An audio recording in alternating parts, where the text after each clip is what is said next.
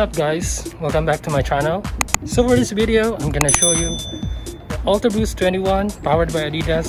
So i'm gonna do some road tests with these new shoes and let's get into it. Now let's talk about the highlights of the new ultra boost 2021 for adidas leap the new torsion system provides a 15% increase in forefoot bending stiffness for a more responsive run. The Ultra Boost 2021 has an incredible energy return. It has 6% more boost, capsule ready to explode with energy in each step. In addition to that Ultra Boost 2021, this product is made with Prime Blue, a high performance recycled material made in a part of Parley Ocean plastic with a 50% of the upper is textile, 75% of textile is prime blue yarn, no virgin polyester. This wanted to give runners a greater energy in return. That's why the Ultra Boost 21 came to life. This new Ultra Boost 21 helps you run faster. And if you're running on toes, this makes you fast and help you cover more distance without getting tired easily. And if you are one of the heel strike runner, this new Ultra Boost 21 will help you out.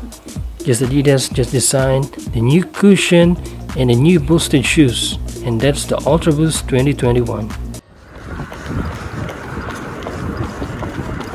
Right now guys, we're hitting like 2 miles already and the shoes is really performing well and it's so bouncy and it's so good when you're hitting the road like this and the new shoes Ultra Boost 21 it's really good so let's do more miles I'm tired now. Currently in the road of New York City. So this is part of the kids running like three to five miles today. Using the Ultra Boost 2021. So it's good guys.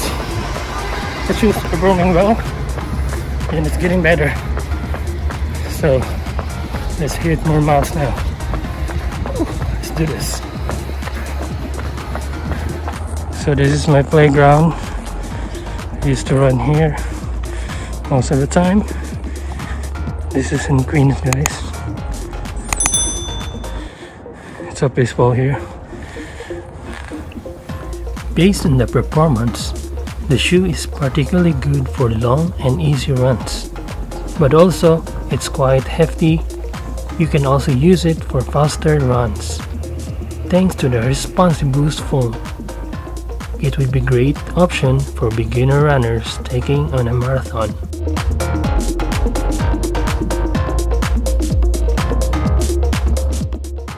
Compared to the original Ultra Boost, the Ultra Boost 21 are a lot more cushioned and comfortable.